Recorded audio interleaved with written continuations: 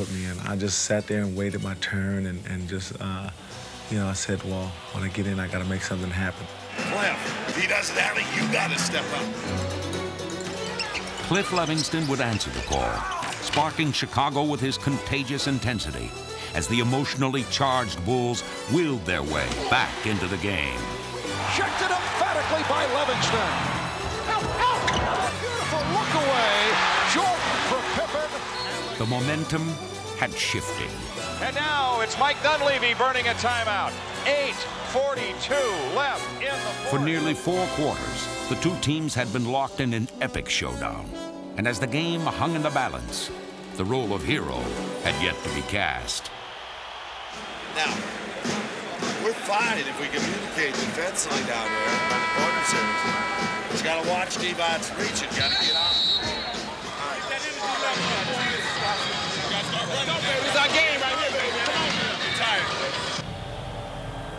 In the game's final seconds, Vlade Divac would seemingly stumble into stardom.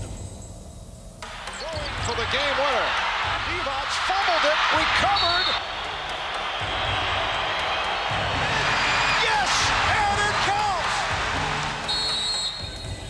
Divac's dramatic three-point play would give LA a two-point lead Oh, no! 93! and Scottie Pippen a sixth foul. It was now Michael Jordan's turn to take center stage and to seek redemption. Almost like game one, right down to the second. And the Bulls were unable to score in game one in the closing seconds to avoid defeat. And they're going to take at the end. They're going to take it at too. the end of, of the court all the way. They have no timeouts left. Full court press. Jordan against Byron Scott.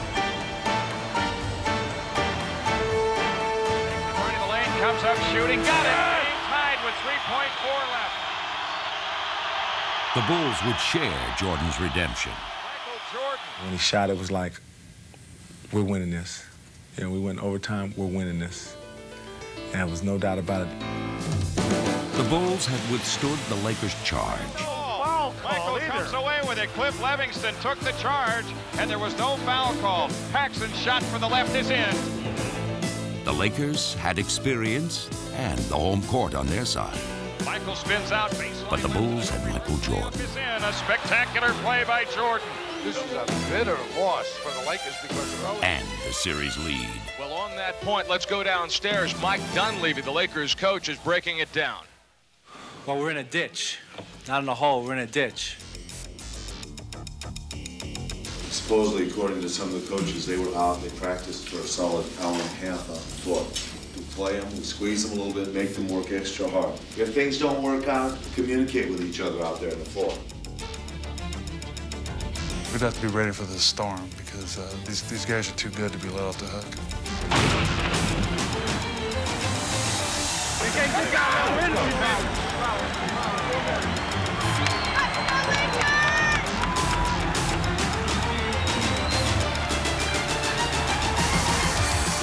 Lakers' storm was swift in coming, Here's Worthy. Yes. but the Bulls were prepared for its fury. For the Lakers, victory was essential, and their aggressiveness echoed the vital nature of their quest. Rebound A.C. Green. Oh, is he playing his game today? Rebounder, stay after that ball. We got to stay with it. The Bulls were equally determined as they too fervently bang the boards. Rebound inside though by Levingston. Scores! And as they stepped up their intensity, the Lakers' storm began to ebb. Williams now with it. Craig Hodges driving into the front court. On ahead to Jordan. He scoops it up. Rimming. Takes him in the lane. Fadeaway jumper. Good. Bill Cartwright hits it. Here goes Jordan to Grant. Back to Jordan. He takes the last shot of the half and he hits it. Up by nine points at the half, the Bulls remain focused. If you get them down, you want to keep them down. Let's go get him, bro. Let's go. I'm not satisfied yet. The assault came quickly. And from every conceivable angle. As Chicago's offensive barrage kept the Lakers at bay. John Paxson has been a crusher. And though there was still some magic in the air as LA narrowed the gap, Important sequence for the Lakers. Magic, yes! And it comes. Johnson's bag of tricks could not prevent another bull run. Right for the rebound. Quick out and pass down court. Michael to Pimpanu jam! They're on the verge of giving up, boys. Just keep right at it. They're having a hard time building the energy. We don't have any. The attack was unrelenting. Again. And suddenly, Chicago was within one game of the NBA championship. You know, the thing about it is that I, I can't feel bad because they just giving us a nice butt kicking. With the title on the horizon, the Bulls were reflective. You know, you've, you've worked all this time uh, uh, to achieve the goal, and I think that when you first get in the league, uh, all your goals are more individual. Let's go, let's go. We gotta go out like style. As you've been in the league a little longer, uh, you understand that the most important thing is the team. And, uh, and your credibility uh, is measured by your team's success. And uh, winning an NBA championship is obviously the ultimate. Let's go, let's go. That's what we work for all season long, guys. Let's Take it home, Let's man. work. Ready? I got a lot of excitement inside of me. I, I- I guess I've been holding for about seven years now. I think uh, when I first came with the Bulls, it was a struggle, and we had to turn the whole situation around. Each year we, we saw improvement, we saw the different levels that we had to get to, and now to this ultimate level. After 25 years, this is the game that Bulls fans have been looking for. Let's go, Bulls! Take it home! The Bulls with a chance to wrap up the World Championship tonight. Good work, man. We've been waiting for this. Let's do work, all right? Let's go. 48 minutes. Even with James Worthy and Byron Scott sidelined, the Lakers quickly showed that they were not going to simply step aside for the Bulls' coronation. Here's Magic. He had a notion to go to the hoop. But as they had all series long, the Bulls were quick to respond. Divac with a bounce pass in Jordan. The steal tight ropes the sideline all the way to the hoop for the dunk. Even the fans here wanted that one. Lonnie Divac in the face of John Paxson. The Lakers' frustration was clear as the Bulls began to pull away.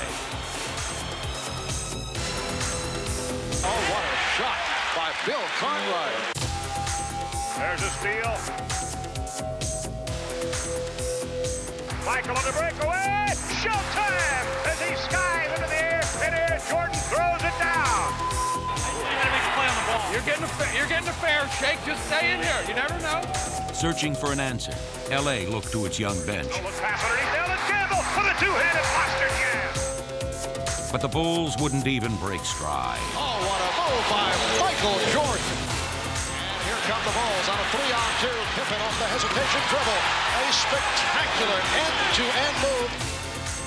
With an intensity born of desperation, the Lakers would make one final run. Takes the return pass and tomahawk in it goes. And the crowd goes nuts here at the Forum just when it looked like the Bulls might blow out the Lakers. LA comes back with a six-point run and they take the lead. But Chicago's confidence was unshakable. Tighten up. That's the term. Just tighten up a little bit. Not, all right? Not too hard. Loosen up. It was time for the Bulls to bring their